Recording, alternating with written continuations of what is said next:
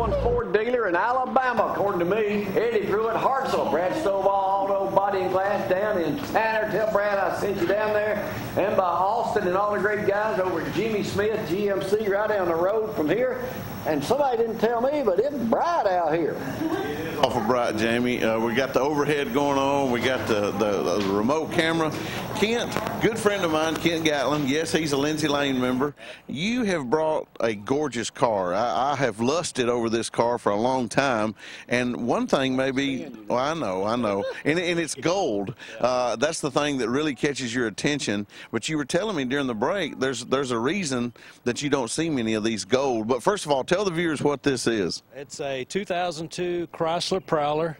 Uh, it's one of only about, uh, they Chrysler and Plymouth combined made less than 11,000 Prowlers over the five-year history of the car. Uh, they started making them in 1997 and stopped in 2002. And this is this is one of only 583 that were painted the Inca Gold. Inca Gold. So so less than 600 were made, and, and we were talking probably if you consider the ones that were crashed or wrecked or, or burned up in a fire, you hate to think about that, but there's probably less than 500 of these on the road today. Oh yeah, yeah. I would. I think there was one spotted in Huntsville the other day, but that that one and this one's the only other gold one I've ever seen. So you know, and, and we were also talking. Uh, you, you think about it when these cars first came out. Uh, it was all the rave. It was you know, it was different. It was a different style. Uh, the styling, the design was different, and everybody went crazy about them. But then they kind of faded away. They disappeared. They only made them for five years, right and and then now some 12 to 14 years later it's become a huge collector yeah. item. Yeah yeah. Uh, actually there is a prowler uh, owners group website where people get together and they have uh, prowler meetings and rides and all that kind of stuff. None of locally around this area but uh, and, and, speaking of rides, you do get this car out to cruise-ins, car shows, and, and you show it off. Because I know you got a pickup truck, and I know you got a Harley, but but you do get this car out quite a bit. I try to take it to as many car shows as I can just to get it out, and it is fun to ride. It's it's a, it's a really good car to to get out and tool around in, and I've had it for probably about five years. I've probably put 12 to 14,000 miles on it. Uh, so you don't, I mean, you do try to keep it low mileage. Now, how many miles does it have on it? It's got just just went over 40,000 yesterday. 40,000. Now, a lot of times we kid around and we joke about the cars we bring on the show being for sale, but in all actuality, this car is for sale. It is for sale. It is for sale. As bad as I hate to say it, but it is for sale. I mean, not that you don't enjoy it. Uh, and, and what are you asking for it? I'm asking 26.9 for it. 26.9. That is a bargain. Jamie, Jamie may uh, well, that's true. You know, Danny, he could tool into the shows and to the movies. Uh, he'd, he'd feel like Kevin Costner in this, wouldn't he? Oh, yeah, yeah. Well, it, in the dropping the top is, uh, I mean, it is a power top. You don't have to drop it this it, morning. It's a manual top. Oh, it's a manual top. Manual top. Uh, these about five, about five, minutes to lower it. Now these wheels were those a factory wheel, the chrome option? They were. They were. Now I've I've replaced the tires with the. I took the run flats off there, so it's got the regular tires. But yeah, it's got the factory wheels. Think about those run flats. They are not very comfortable, are they? Very comfortable. It made a huge difference in the ride of this car. So that's true. Now, now a little bit about the power and the engine. I, I know it only has a V6, yeah. and, and, we say that, but good bit of power for the weight ratio. It's got quite a bit. It's around 255 horse, and if you compare that to, and I just recently looked it up, if you compare that to the V6 Mustang and the V6 Camaro, they're around 300 and 335. Uh, but this is about a thousand pounds lighter than both of those cars. Yeah, that's what I was going to say. We're talking about a lot lighter weight car.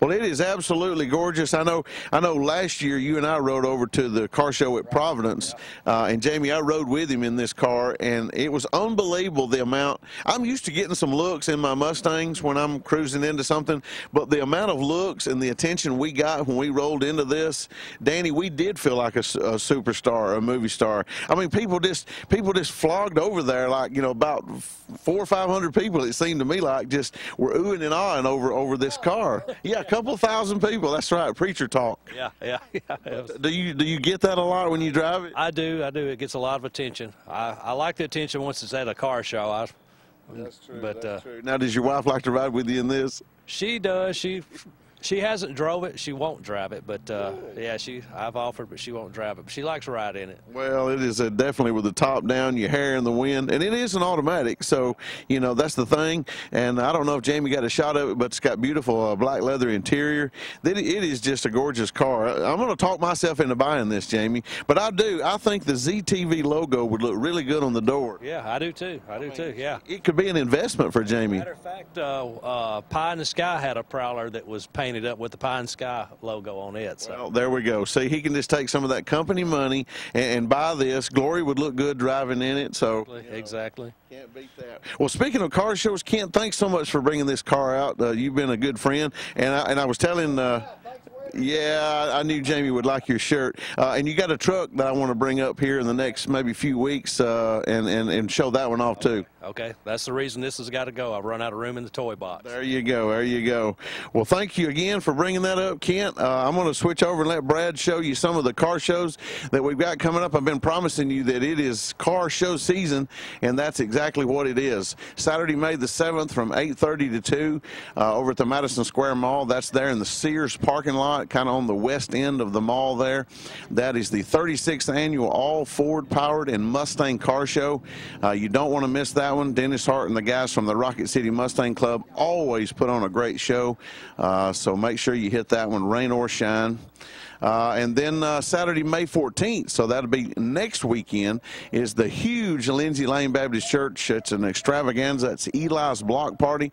That's the young man that. Um, has been battling brain cancer, and we've been uh, having a show for him. I guess this is actually the third annual that we've had there.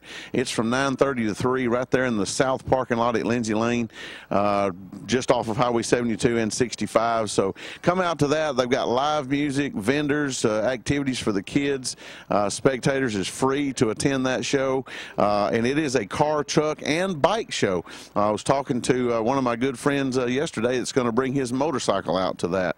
So you don't want to miss that one. Yes, it's bright and sunny. It's starting to warm up out here. Uh, stay tuned. Uh, don't know what we'll have next week, but I can guarantee that it'll be exciting. So uh, thanks for tuning in here on ZTV. Jamie Cooper Show. We'll see you next week.